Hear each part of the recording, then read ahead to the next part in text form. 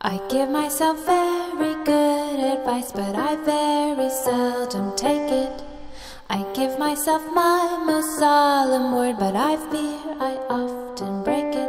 I don't know why it's so hard for me to behave the way I should be. My mind says I am not listening. La, la, la, la, la. I make myself very but I very seldom keep them. And as for rewards from self control, well, I fear I rarely reap them. It's all very well when I stop to think, but all goes to hell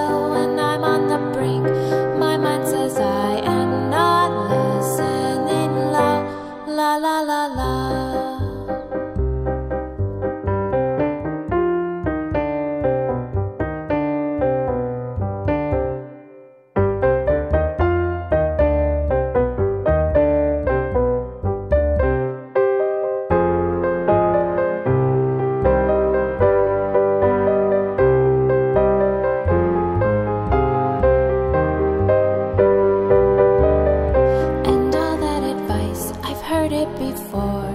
I should be nice, reserved, and demure. And if I should hear a knock on the door, I should check twice just to be sure. And if there's a rabbit hole in the floor, I should stay put and not go explore. But my mind says I